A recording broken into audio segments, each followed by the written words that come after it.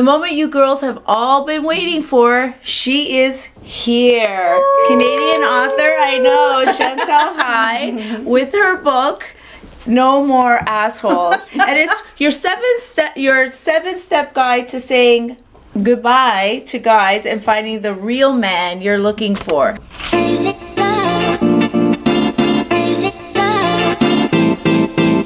The No More Assholes book, Canadian author. You have written. Um, so this is not your first book. We we talked about this before. This This is the first book I wrote out of eight books. So eight books. Go get this one and the other seven. Well, depending on where you're at. Oh, okay. Because if you're getting over a breakup, that's come back clean. If you're vetting for the right partner, that's no more assholes. Once you have that first kiss, after the first kiss, to fix the baggage that you both bring into the relationship, you want to get fixed that shit. Oh my god, I need the whole damn series. I know. So we are now gonna have her here and like another seven, eight times. When's Trisha's birthday again? You're at the no more asshole stage. You're at the No More Asshole stage, We and talked. we will dedicate this show to you, Trisha. so, as you you girls all know, this is Trisha and this is Tanya, and we're gonna do things a little bit different today. Um, instead of me just asking the questions, my girls here are also gonna ask questions, and we have a little bit of a studio audience here too. So after those questions, we're gonna just have open mic. So I pray that you're ready for this. oh Lord. I'm also going to introduce Lulu because she's here today too. So whatever you dis- if you disagree with someone, just, Just bark. bark. right? Just bark. just do it in your own language. She sweetheart. says, she goes, I just go. Yeah, just go. That's Yeah. how it should be. Just go. So I'm going to start. Um, so my first question is, and we had this as a, uh, someone submitted it. I guess because of the title is, um, how do you know he's an asshole? Oh yeah. Okay. Wait, let me move. Let me get closer. So- I. Hold on, ladies. We'll all get comfortable. Let me clarify. There are no assholes. Oh, There are no assholes. There's there's state of minds. And so guys, I call them selfish, you know, the selfish short-term thinkers are guys. The generous long-term thinkers are men. Selfish short-term thinkers are girls. Generous long-term thinkers are women. When you want a relationship, you're looking for somebody that you're going to devote yourself to and take care of for a long period of time. So you are in a generous long-term thinker state of mind. If you fall for someone who's in selfish short term thinking mode and you want them over here and they don't want to go over there, now we start getting upset. Okay. He's such an asshole. I'm not getting what I want. He's not giving me what I need. And so this is about vetting twice once for mindset. So no kissing for three months. Well, we're gonna get Oh. into that question. So hold on, keep your thoughts on Wait. that. Yeah, yeah. yeah. Well, Don't worry, we'll get into that. Okay, go ahead. means selfish short term thinkers take themselves out of the equation. Mm-hmm. They go. Now, what's left is the generous long term thinkers. Now you vet for compatibility. Okay. Okay. Hmm. So he's not really an asshole. It's really of we're defining him as an asshole. We're calling them that because we haven't picked the right mindset. We found compatibility, but not the right mindset. And now we're getting upset because he doesn't want to go over here with us. I need a pen. We were talking about we were talking about having aha moments. That was just a Uh-huh. That was just the first. yes. Oh jeez. Okay, I'm getting comfortable. Okay, so I'm gonna put it on to for to, for Tanya here now. Okay, so we've we've decided at what point a man's an asshole, but a lot of times women want to know, like, okay, so if he's an asshole, then how do you find Mr. Right then? Oh yeah. So- or who's right for me? How do we find that man? Oh yes. Well, we're out there, we're online. Yeah. right? And hopefully we're getting beyond online. Hopefully we're actually meeting people in real life as well, Yes. right? So Yeah. we're in a coffee shop, we see someone across the room. Yes. We go over, tap him on the shoulder, we let him know by dropping the handkerchief. You know, little chit chat. This was really interesting. Mm-hmm. I play with Love my to hair. See you again. Even though I'm married, hey. I still play with, I still Here's play with my my hair. you know, so we're meeting people and we're drawing them in. We're letting them know the door is open. Come step through and come show me who you are. Using a no kissing for three months rule means we keep our mind clear. So, are you ready for a little biology? Oh no. Oh boy. Oh la la. Who's I get that pen. all right? Get a drink. What happens when you kiss? when you have that first kiss, regardless of when it happens, you lock in. Mm-hmm. So if I kiss somebody on a first, second, or third date and someone else says, Can I take you out? I'm going to say I'm seeing somebody. Mm-hmm. So the biology is everybody's lips secretes a chemical that doesn't do anything to them till it comes in contact with another set of lips. The combination creates phenylethylamine. It's an aphrodisiac. This is why kissing precedes sex. Secondary effect in the female brain is telling her she's completed a vetting process. Okay. It locks her in, makes her say no to all other suitors. Because there's a part of her brain that said, as a mammal, I observed males putting on a display and then selected the best one. It makes us think we know everything we need to know already. Okay. No kissing for three months means that chemical doesn't get in our brain. So it means that then you can use no more assholes and use the 12 questions that peel back his layers Oh. and find out who he is and use three months to figure out compatibility. Okay. And you can see other people at the same time oh, because you're not lip locked. So in those three months, then a woman, you're saying that a woman can see other people because it. You should. Okay. You should. You should not lock yourself in just because you're having dates. Okay. So can I ask if after the three months you decide to kiss, mm-hmm. does sex immediate? Does that mean kiss sex, or is there another? Those Okay, so- clothes yeah. are coming off. Yeah. That's three months, If, girl. I, if I'm waiting three months, I'm gonna explode after a kiss. Right. three months. right. Okay, don't even talk about Don't- mine. I'm like, first date, kiss, second date, Bow, bow, bow. right? Right? Oh my oh, I'm god. Can I tell you a story? Oh, please do. Oh. I had a client. They did the whole three months. They had their first kiss anniversary Yeah. at the same place they had their first date, and then went back to her place and didn't leave for a week. What? A week. Because, by the way, no kissing means no sleepovers. Because you want him to go home and think about you. Because Yes, that's what true. happens when you think about something over and over and over again, it gets carved into your brain. And I tell ladies, I don't want you to be with somebody who doesn't carve you into their brain. Okay, so yeah, but uh, during that time, the women, and sorry not to use, but women are probably, you know, exploring or exciting or satisfying themselves because you know there's always that attraction, and then Yes. it's like it's like it builds up, Right. Yes. And And, that- it should. It should build It up, should. yes. Because And- if it fizzles before the three month anniversary, good thing you didn't kiss him.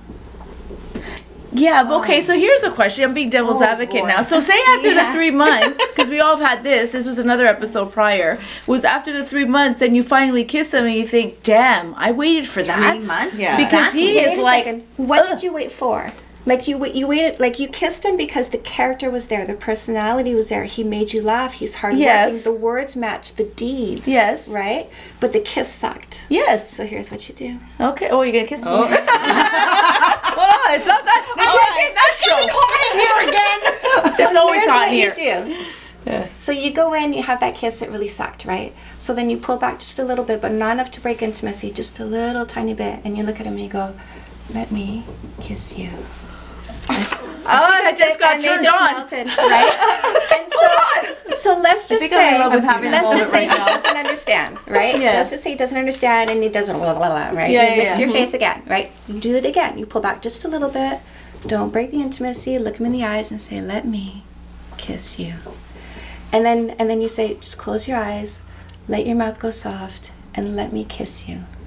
Listen, men, men want to please us. They want to know what makes us happy. They do. And are we not willing to say harder, faster?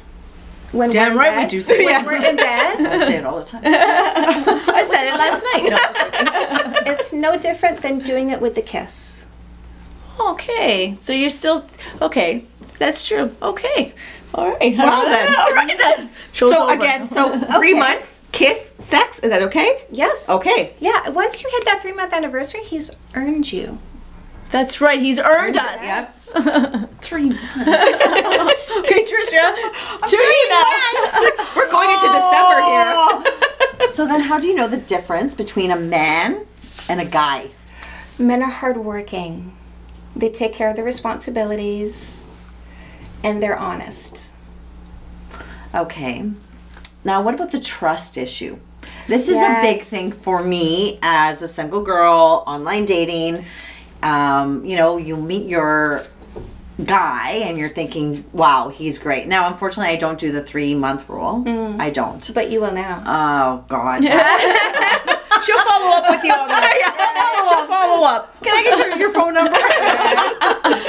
but how do you, how does that trust? I guess the three months comes with building trust. 100%. So there's three phases to love, right? There's the courtship phase, the insecurity phase, and then the reality phase. Okay. So courtship we talked about, that's no kissing for 3 months. That's what he's going to do for 3 months. The insecurity, really jealousy and insecurity is fear of loss. I've I've got so much invested in this. I have so many feelings and now I feel that if this falls apart today or tomorrow, something will be missing from me and I don't want to lose anything, right? That's what jealousy and insecurity is if you do no kissing for three months and you've observed him for three months and over the course of three months there have been moments where you went oh this was a test and he he did it.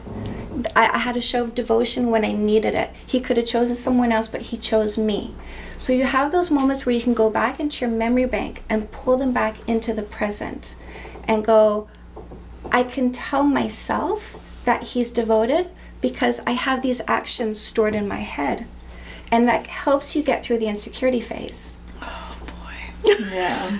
We- Where's that ten, Trisha? It's also it's hard because when you when you've been hurt, when you're being you're single and you've been hurt, and we talked a little bit about all of our pasts uh, off camera. But when you have been hurt and you have to learn from that and start trusting again and to start people seeing the real you mm-hmm. without that first date facade, so to speak, then it, it, it's hard. It's a hard. It's hard to get past that, and it's and it's when you've been divorced when you've had past relationships that have been either verbally or physically abusive um, all those things they play on you the older we get. So it's like learning uh, and you know i'm not an expert at all. You're the expert but is it about learning about yourself first and kind of healing yourself first and then being able to let somebody in? You can you can do it first if you want right? And like i have people who come to me and say i just got over a breakup and i'm not ready and i say and they and they, and they say like i don't want a relationship and first of all i say be careful of the words you say because that frequency you know whatever you say whatever you think is putting itself in your path and i say don't close the door have the time and space boundary Yes. so that you can get to know somebody, gain some comfort, gain some trust, still get to know and develop yourself. Yes. While getting to know somebody. yes So no kissing for 3 months gives you that opportunity to say I like you, I want to see where this goes, but I don't want to commit to anybody I don't know.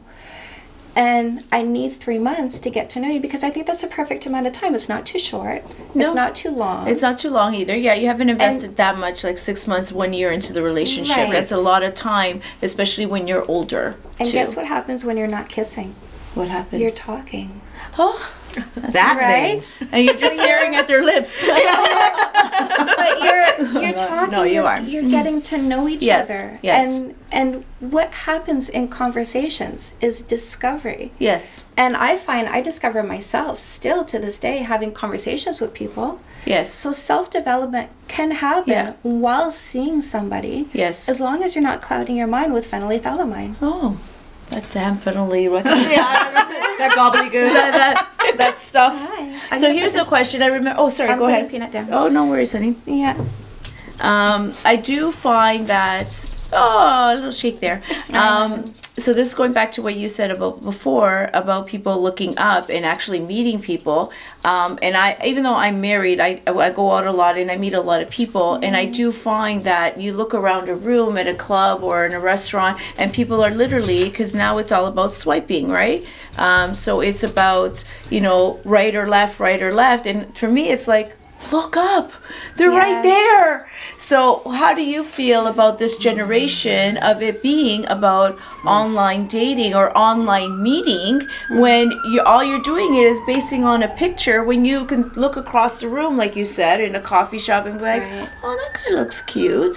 And having that eye contact, like chivalry is, I find, maybe because I'm not in that world anymore, but chivalry is gone, human contact mm-hmm. is gone just getting to know somebody is gone where now it's all based on a picture and the five things you put about yourself. Right. so what do people come to you and say well i'm going to go on online dating Yeah. I'm, and how do you feel about that I think it's totally fine. There's so many success. Like I meet. Oh, and I do. I've met- yeah. And I'm always talking to couples and asking, "Where did you meet? Where did you meet?" Right?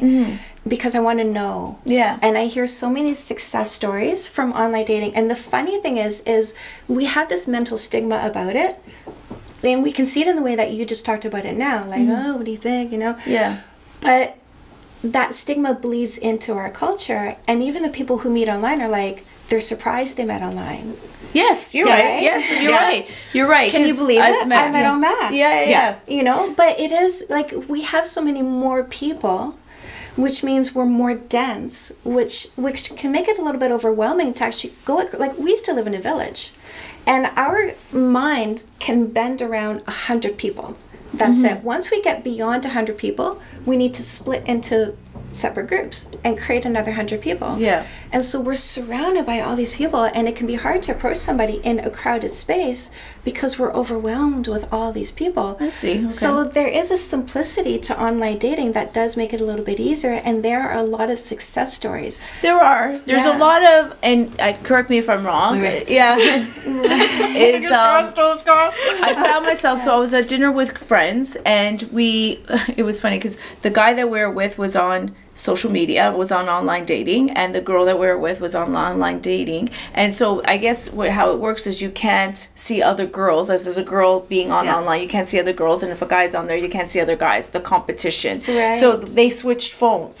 Oh, so So we're like, oh, I want to see it. Like we're all like, oh, let's see that, right? So then he's on looking at guys, going, oh, this is what's out there, and then I the girl is know, looking, and so I found myself, oh, let me see that, because you know I'm always curious, and I I found myself getting caught up in this, and I and I, for a moment I'm like, oh my god, I can't believe I'm doing this, because I you're you're judging women and saying, "Oh no, she's not good for you. Oh no, she's ugly. Oh no, she's this. Or no, no, she's By that. looks. Oh no, her hair's funny." And it's all about looks. And I thought, "Oh, wait a minute, Maya.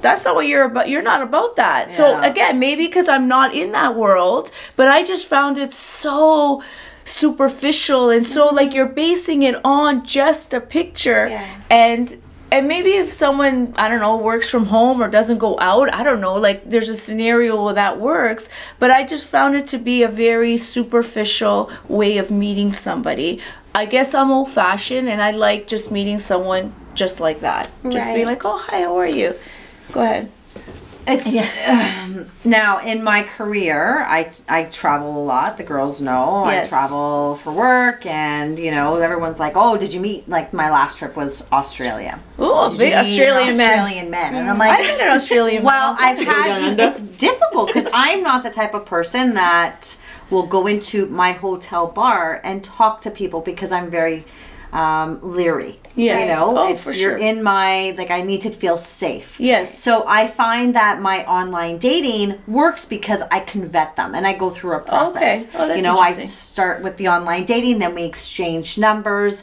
then I need to have that phone call with them because I need to hear their voice. Mm-hmm. to then make, we to make sure it's not Nigerian. Right? Right? And then I And then we need to meet. But by then I've already like I've asked questions because I'm I interrogate these poor guys. Like, you know, your last relationship, how many kids, what do you do? Blah blah blah. Um there are guys and girls that are Yes. out there, and I'm, I'm not even blaming this on men, men and women out there that are just using it to hook up and to have a one night stand. Guys and girls, selfish short-term thinkers, right? Because because I've been in girl mode. I I hit girl mode for a full year. Oh, did you? Oh ho, yeah, and I had fun. Oh! yes, I did. Yes, Did I you? did. Yes, I did. Yeah, I got out of a three-year abusive relationship. Okay. You know, was done repeating the pattern of being abused, and and I just went. I don't want a relationship, but I didn't want. to I was 21. I didn't want to stay in my apartment and do nothing. I wanted to go out into the bar and have fun and meet people, and and I wanted to explore myself sexually. Okay. Oh, yeah. And we talked about this. We just talked had Oh, a yeah. conversation about this where then you want to do it because you want to do it. Yes. Um So I I'm not in girl mode. yeah. And everybody has a right to their state of mind. Yeah. Okay. Guys have a right to be guys. It's just when you are seeking someone to have a relationship, Yeah. you're in woman mode Yes. and you want a man. I have been in girl mode. Perfect. Absolutely. I lo- you know After what? I have divorce, to say I love the way she put it. I like that. I do mode. like that Girl because mode. yeah, it is. That's a, a excellent way. Thank you. Uh, I'm now going to think more like that too. Now I want to be a woman. Now you It's time. I'm all grown up now. to be a woman, And ladies. when you're ready, you find the ready person. Yeah. So at what point did you know that you were ready to go from girl mode to woman mode? Like at what point were you like, I'm done with playing around? Right. I want something serious. At what point did you kind of say, aha, When I'm I done met with this? when I met my next boyfriend, and it was like, mm, this one I want to lean into. were you in girl Oh. mode when you met him? I was. Yeah. oh, and then And you then you- switched. I did. Oh yeah, me too. And, and I did that too. guys can do that. Like you might meet a guy, and you say. I like you. I want to see where this goes, but I don't want to kiss anybody I don't know because I don't want to commit to a stranger. And I want to make sure my next kiss is with somebody that I'm building a life with and hitting these goals with. And if there's something that clicks in his brain about you, he might become the man that you're looking for to be the man by your side. Second aha moment. You've all witnessed it. You might as well be Oprah over here. She's just, Yeah, you get a boyfriend. You get a boyfriend. You get a- I love that. We're totally. Oh, that's awesome. You always come up with those. That's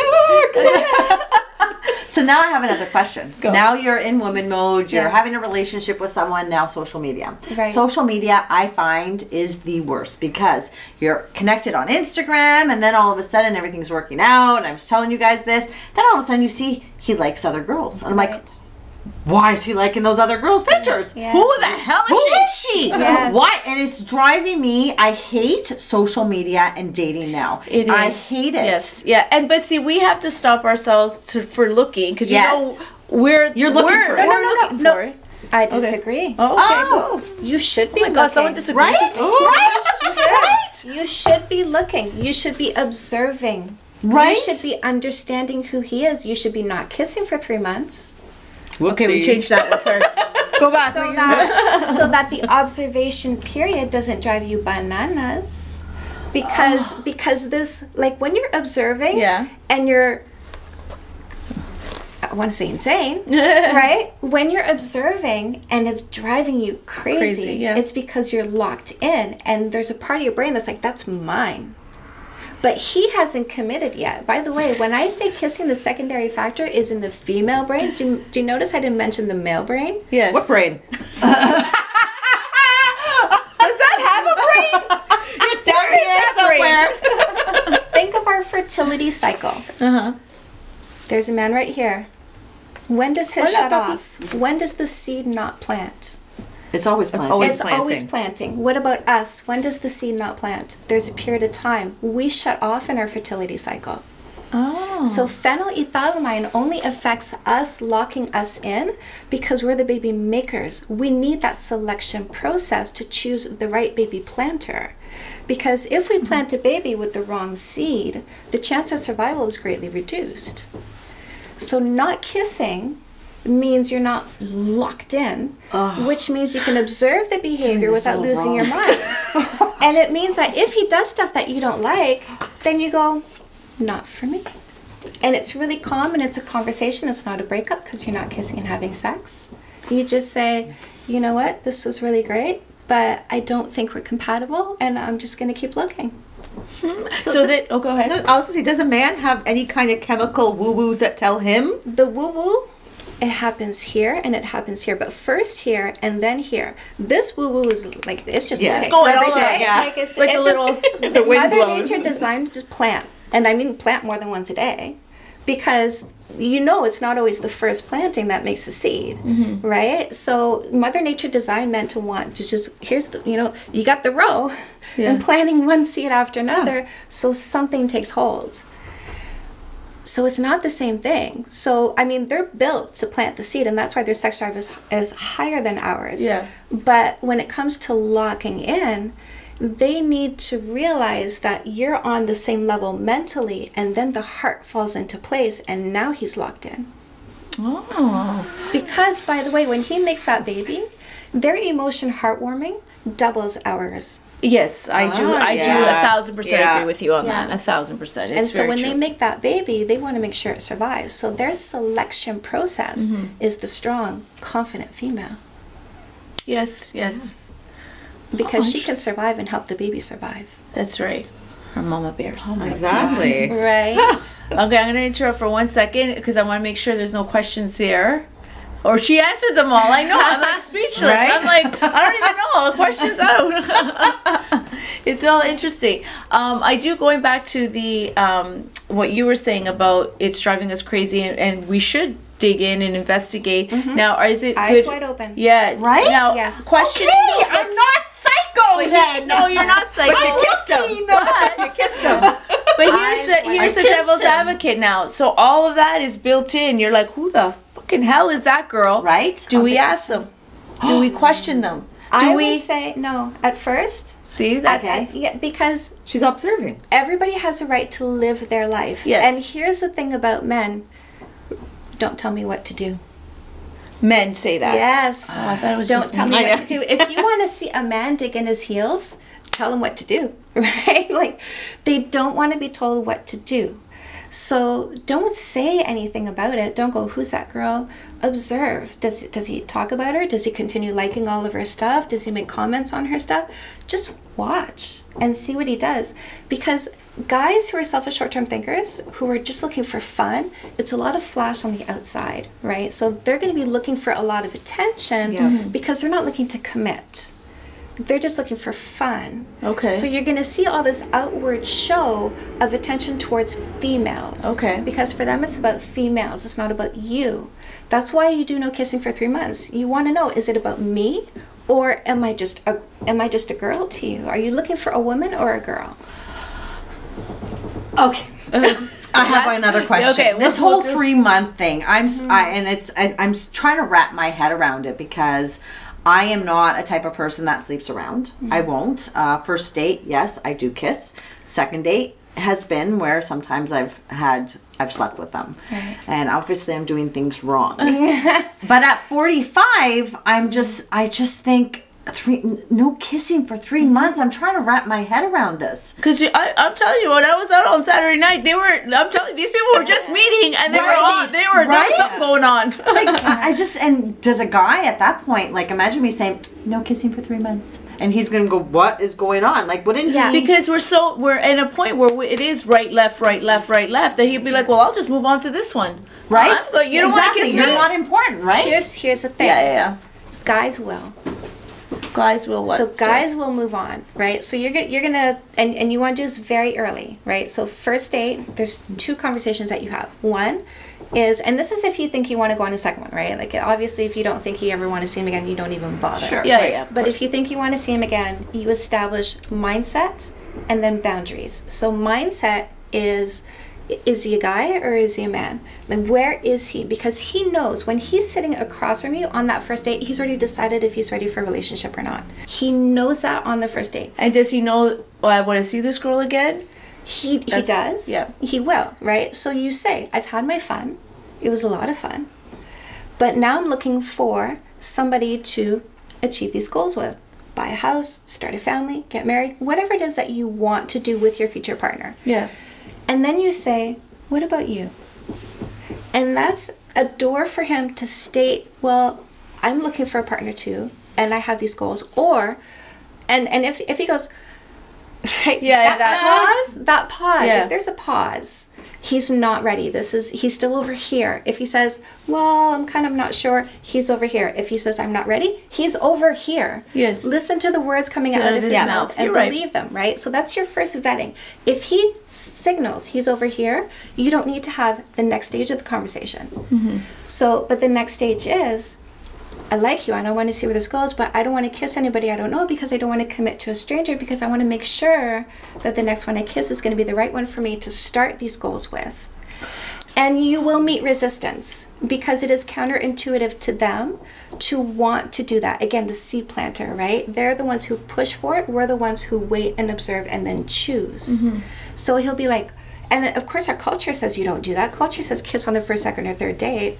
So he will resist. Yes. He'll be like, "What? That's crazy. Never heard about that. No, you don't. Nobody does that. Yeah, I, yeah, yeah. I can't wait three months for a kiss." And then you say, "That's okay. You don't have to. I'm waiting three months for a kiss." And this is the science. There's a chemical that's released during kiss that tells the female brain. And by the way, it's an aphrodisiac. That's why you want to kiss me because you want to get me in bed, don't you? Right. But it also tells I the female brain that, I've, completed a vetting process and it tells me I know everything I need to know, even if I don't. So I don't want to introduce that chemical and lose my mind for three months and then realize we're not compatible. And if at that point he does not say, that makes sense, he oh. does not respect you, he does not respect your goals, and he doesn't care about you, off he goes in that category because he's not ready to be a generous long term thinker. And that's when you're in woman mode, obviously, Mm-hmm. not when we're in girl mode. That's when you're in woman mode, then you're having conversations. Yes. In Yeah. girl mode, the conversation says, Do you want to come home with me? That's it. In girl mode, it's just it's physical attraction and Yeah, that's yeah. it. Because that's all you're satisfying. Yeah. And is it okay to have that conversation about your goals on the first date, or do you wait, or I was just gonna at what point Yeah. is it okay to have that? Broad stroke, right? Like I'm looking for somebody to achieve this with. What what is it the broad stroke that you want to achieve? Don't talk about what he want, what you like who he needs to be, Right. who he can't be. Yeah, like yeah, don't yeah. put that on, On the him. table. Yeah, yeah. Let him ask, Right. what are you looking for in a man? When he asks that question, you know he's starting to lean in because he's wondering who he needs to be to be the man by your side. Right.